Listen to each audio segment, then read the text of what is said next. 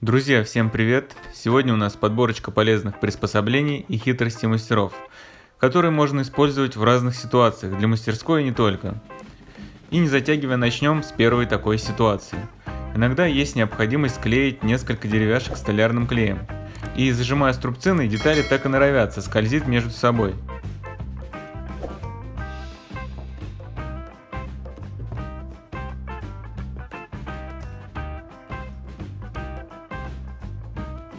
Так вот вам совет, как этого избежать.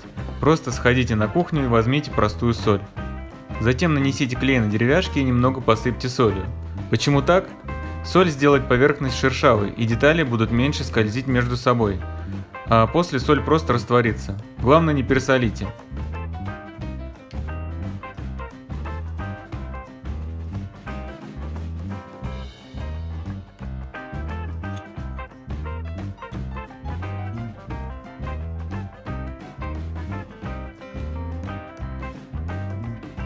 Вот я скручиваю их струбцины, даже не прижимая рукой. И как видите, сдвигаются детали минимально. У меня есть вот такая удобная приспособа для разметки, я ее сделал сам. Но кто не видел, в правом верхнем углу подсказка на видео, как я ее делал. Например, нам надо нанести равную разметку для отверстий по углам доски, а приспособы как у меня у вас нет. Конечно, я советую вам ее сделать, но для такой разметки можно и обойтись простым и быстрым вариантом. Для этого нам понадобится маленький кусочек бруска или кусочек черенка от лопаты и саморез.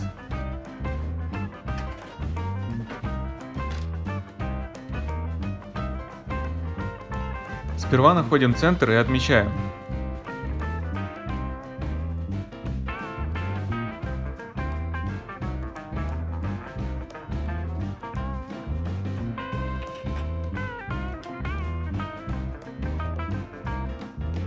Затем просто вкручиваем туда саморез. Все, приспособу можно считать готовой.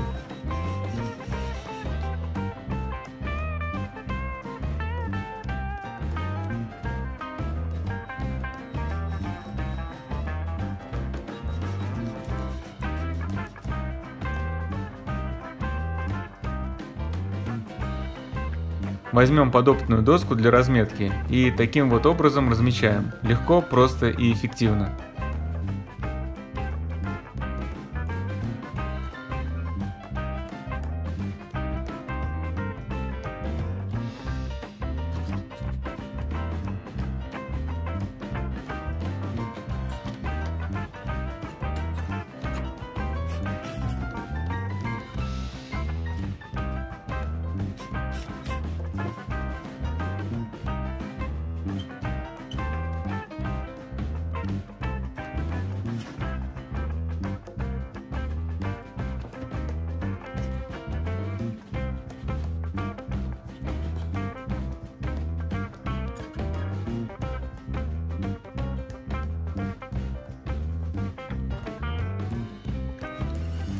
После того, как сделали разметку, возьмем нашу чертилку и модернизируем, вкрутив саморез подлиннее.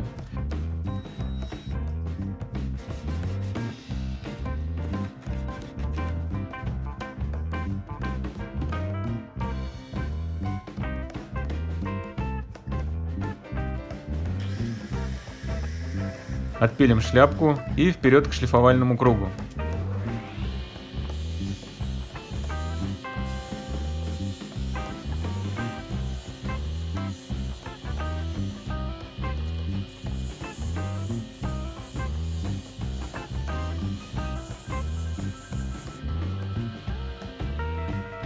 По итогу у нас получилось вот такое шило.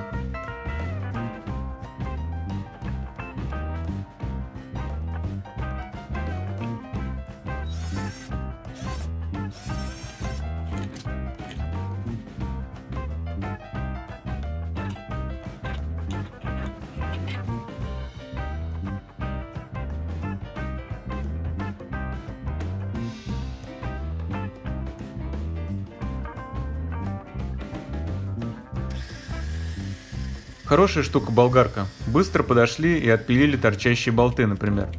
Но что делать, если отпилить надо, а болгарка, как назло, сломалась и отказывается работать? А все просто. Для начала разметим место, где нам надо отпилить, и открутим болт. Кстати, чтобы восстановить резьбу после резки, накручиваем сперва гайку. Пилить нам все равно придется, нужна будет ножовка по металлу или хотя бы полотно. Можно, конечно, и так попилить, но сильно ускорить процесс можно при помощи дрели. Смотрите, как быстро я сейчас отпилю этот болт.